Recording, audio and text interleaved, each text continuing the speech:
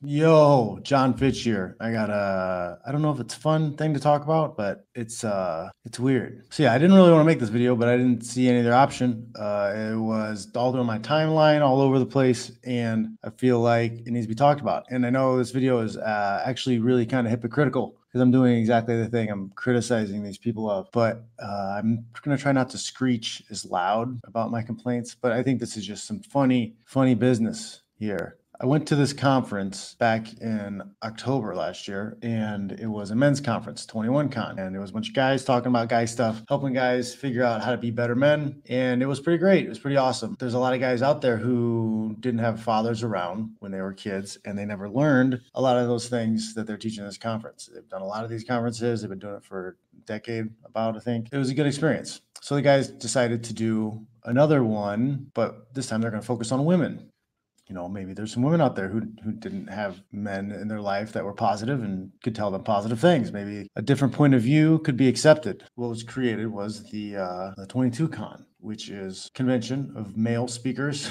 speaking to exclusively women. And I don't know why this would be a problem. And if anybody thinks it's dumb or isn't interested in it, would I would think why they wouldn't just uh, scroll past it right? I, I, see stuff all the time. If I saw an organization of women getting together and it was going to be a bunch of women speakers talking to men, I just keep scrolling. I wouldn't wouldn't wouldn't wouldn't register at all. This particular thing freaked a lot of people out, got a lot of people upset, at least but by people I mean feminists. So show you my timeline on Twitter with some of these people and what the reactions were. Carletta J. Vaughn says idiots. Any woman that attends is a fool. Tickets cost $19.99 and are only sold to women. All of the speakers are men. Why are women idiots? Why wouldn't you want to go? I mean, if they why wouldn't you want to go and listen to people talk if you thought there was something missing and you needed some information? I don't understand why that's why that's a thing that you have to be a fool to go to. I mean, maybe, you know, the sticker price is a little high for you, but scroll, just scroll. See, watch, I'm to do it right now. See, I can just scroll. I can just scroll. Oh, okay, it's gone. But uh, yeah, another one here, another, and these are all blue checks. Katie Phang, uh, men prefer debt-free virgins without tattoos. Uh, is that is it? Where's the lie? Where's the lie? Men prefer debt-free virgins without tattoos. Where's the lie? If you could choose, you'd probably choose that over somebody who's got a high body count and has tattoos from head to toe that has $100,000 worth of debt. That is uh, true. Uh, and they're all re- referring to this article, and we'll get into that article in a second. Uh, I just want to show the amount of outrage and kind of hate thrown at these guys. Liz Plank says, uh, This is what happens when femininity gets an upgrade, but masculinity doesn't. Ooh, so men are weak, I guess. And it's another insult towards men because they want to help women be better because women couldn't possibly not be perfect right? Women are perfect. Kimberly Johnson says mansplaining convention coming to Orlando promises to make women great again. Tickets cost $90 are only sold to women. All the speakers are men. Again, why why such a problem with that? Yeah, there's always even more hate in the comments. Who else? Okay, Mr. Block You. Uh, sausage party. It's a white knight. Marlena Fitzpatrick Garcia. Tickets are only sold to women. All the speakers are men. Uh, so I'm guessing she's not a fan. Another check mark. Why why do blue checks care so much about men doing a conference? Brian Jay Jones, not a parody. Is he talking about himself? Is he the parody? New York Times bestselling biographer of guys behind Sleepy Hollow, Muppets, Star Wars. Oh man. Ah, Star Wars. Okay, buddy. Quet, another blue check. It says, Look out, ladies, our wishes are about to be granted. Again, why why are they creeps? Again, would would a woman's group of speakers talking to men, would that raise the same amount of concern? Like it looks like a pretty diverse crowd. Juan Escalante says Florida mansplaining convention coming to Orlando promises to make women great again. Juan, undocumented immigrant, Okay. These all seem to be left focused people. Why are they so unhappy all the time and that they hate everything? Uh, and this is what's crazy is that, uh, hey, so, and this, the, the, the URL doesn't work anymore. This uh, Facebook post, he posted this stuff on Facebook and it, it reached, it reached an ungodly number of people, something like uh, 2.6 million impressions or something like that. Pretty, pretty wild. They ended up with their hate, they ended up giving it a huge platform. Now more people know about it than before. There it is. This one. Feminists re over make women great again. 2.6 million people. They they got 2.6 million impressions on their on their on their uh, on their Facebook post. So just Facebook, not all the other impressions put together. Lisa Amoore, seriously, this exists. The 22 convention is destined to be mansplaining event of the century. Sorry guys, women don't need to be made great again. I mean, Everybody thinks they're, they really think they're perfect. Jennifer Wright, another blue check, says tickets to this conference were men to tell you make unlimited babies. Cost $2,000. One way you, a woman, can make your life great is to spend that $2,000 on literally anything else. More heat from Blue Check World. A Father's Journey this says, I can only imagine a conference where women talk to men would be championed as men learning all about that perspective but a conference of men talking to women, mansplain. Yeah, pretty much agree with that take. Another blue check. Clementine Ford says we're only 14 hours into 2020 and already we've found the most pathetic thing that'll happen this year. Imagine being such a loser. I don't know.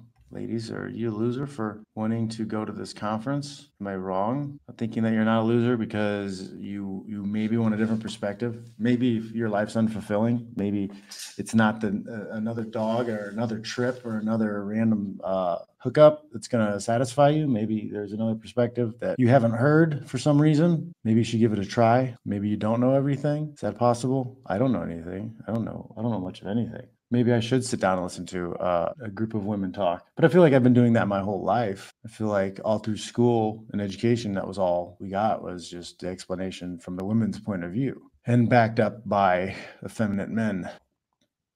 So now let's take a look at uh, one of the articles that was written that most people were complaining about here from the Orlando Weekly. Okay, mansplaining convention coming to make or coming to Orlando promises to make women great again.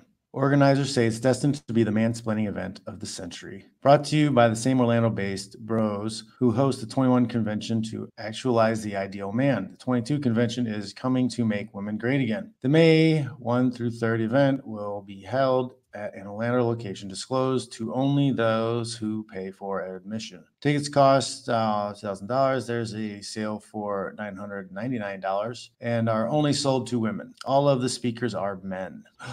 How dare they? How dare they? How dare those men speak to women? Uh, women today are being taught to act more like men. I could agree with that says the 22 convention website, which they say has led to divorce, depression, dysfunction, and rampant single motherhood. No longer will you have to give into toxic bullying, feminist dogma, and go against your biological nature, say organizers. Mansplainers on hand to redirect. The wayward women in attendance include convention founder Anthony Johnson, whose bio says his mission is to destroy the feminist establishment. Alexander Cortes, described as a fitness guru and modern day philosopher, winning the minds of men and the hearts of women, and other right wing personalities with hundreds of thousands of followers on Twitter and Facebook, which are definitely not Russian bots like those of men's rights activist and 21 convention speaker Mike Cernovich. So they think they're trying to say that anybody who even supports, anybody even supports any of these guys is a Russian bot. Like, why do they pull why is russia trying to destroy feminism? Is that what's happening? Is that what's happening really? That's what's going on is uh there russia is using this technology to uh to make people think that to do what? These people are mental. This stuff challenges their their ego investment on what they believe the world should be rather than what it really is. So much that they they're they're screeching. This is a re this is absolutely certifiably a re. Topics the men will discuss include the ills of feminism the war on motherhood beauty and obesity love and dating getting pregnant and having unlimited babies getting in shape beating the competition to become the ultimate wife and boosting femininity I mean, why is, is that that's bad? That's a bad thing. Is that a bad thing? I don't know. If I had daughters, I'd make sure they they got that too. They'd get the other stuff, but they'd get that too. Shouldn't they have a choice? Why is it only one direction? The preview picture next to the femininity topic of a smiling woman with a statement that men prefer debt-free virgins without tattoos. Their message is when women do anything that these bros doesn't like, anything that goes against the most antiquated notions of women, It's a woman acting like a man, whatever acting like a man means. And a woman acting this way confuses the order of things and ruins the world, say organizers. Only men can say what is proper womanly behavior. I would think that a man can say what a man likes in a woman. Isn't it isn't it men who are attracted to them? Aren't we allowed to be attracted to what we're attracted to? I don't think you're allowed to tell us what we're supposed to be attracted to. I mean, I guess if you, you have no interest in attracting a man whatsoever, that's fine. 22 convention, the story of feminist liberation is reversed, revealed to be a narrative of propaganda that's led millions of women down a path of endless heartbreak, dead end relationships. Other people, like actual women, might say feminism has opened their eyes to the treachery that is life consumed by winning the favor of idiot men. Why? What? What? What uh, experience do you have with men? Why you think they're all idiots? I think you need to upscale the men you're hanging out with. A woman being comfortable in her skin and not bending over backwards to give Anthony Johnson a boner isn't just making Johnson and other locker room talkers feel bad. They want you to know it's really, really bad for the ladies too. I mean, they automatically attack and then misconstrue. Why would they have to? Why is it all about as a boner? It's not about just giving a boner. I mean, being attractive is more than just giving somebody a boner. It's trying to control your mind. Don't let them control your mind. Fittingly, organizers have scheduled men to come first with the 21 conventions and second patriarch editions starting on April 30th and the 22nd convention, world's ultimate event for women starting on May 1st. Both run through May 3rd. There is a discount for women buying tickets uh, to both with 21 promising your man will walk out a certified badass 100% leading your family and relationship forever. So yeah why not? Why isn't there a big attack against the patriarch uh, edition where they're talking about being a father? They're more concerned about telling women what to do than fathers? I don't know. It's all garbage do what you want to do, people. Do what you want to do. If you want to be a mom, be a mom. Don't let anybody tell you any different. Don't be influenced by them. You want to have sex with a bunch of people, like that's great, but don't think that you're going to come back from that and life's going to be normal. What good is a, a lock that's opened by every key? We also have this article, pretty interesting. It's a little more angry. Wonkette.com. Interesting. I don't know anything about this website. Is this even a legitimate website or just somebody make this up for one article? Uh, the internet's most repulsive men are throwing a Make Women Great Again convention. And oh my God, it's so sad. So, like, if women actually go to this, is like, are they not allowed to be women anymore? Are they going to be beaten up by the mean girls trying to boss them around? Right in the headline, the repulsive men. They're repulsive. So, you, you need to hate them because they're repulsive because they want to help women, they want to help men. They're repulsive. Okay.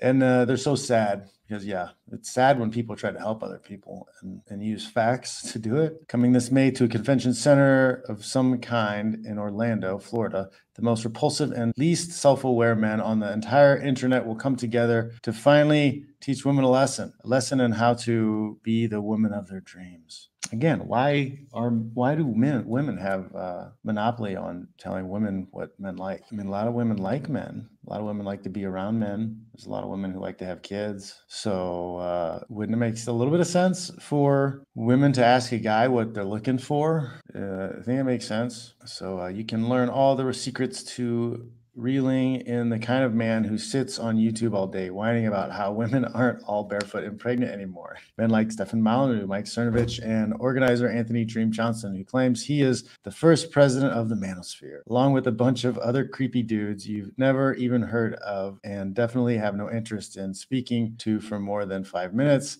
Never mind marrying. Uh, most of the, a lot of these guys are married. Cernovich is married two kids. Uh, Stefan Molyneux's married, has a daughter, I think. Again, baseless tax. I don't understand why it's such a big deal. The conference is called 22 Convention. We don't know why. And features the tagline Make Women Great Again. According to the website, it is destined to be the mansplaining event of the century. Oh boy. Um, yeah, femininity over feminism. I agree with that. Not even all women identify as feminists. Yeah, man this is just it's just why why so angry? You know that gets to my point. People are allowed their opinions but like why does this even bother you? Because if you don't care you're just going to not go. You're just not going to pay attention. Shouldn't the market decide like whether or not it's something's viable? Because this is a business. People are paying money to go to it. Somebody's paying money to go to this business. They want information. If it's no good and nobody signs up and nobody's there like then it goes away. But they screeching gave this free advertising of the of the over 2 million people reached heard about this event that probably wouldn't have otherwise because of their screeching. And now chances are out of that 2 million plus people who saw that, there's going to be some women who are curious and want to go and hang out and see what's up. Maybe they'll learn something. You never know. There's open minded people out there who'd be willing to hear something and hear a different perspective. They end up amplifying this, and now it's going to make them probably a lot more money than it would have before. They never got as much attention as all the previous i think there's something like 18 or so 21 cons that they've done. They didn't get this much attention from all those all those conventions combined. This is the most the most talked about most amplified most uh, promoted one they've ever done. It's probably going to be the most successful. So uh, maybe next time if you're so bent out of shape about something that doesn't really affect your life you just keep scrolling. Just scroll past it. You think that's possible? You think that's something people could start to try to maybe do that's what I do. Uh, but yeah, I'm done with that. I hope you are too. And if you're a woman who would like to know more about what men are looking for, maybe you should listen to a man. If you don't care, then just don't care. Keep scrolling. Thanks for watching. Make sure you hit the subscribe button, smash the bell so you get notifications every time I put up a new video. Check out my Patreon, patreon.com backslash Jon Fitch. And then be sure to go to jonfitch.net and uh, sign up for the newsletter. I'll check you guys later.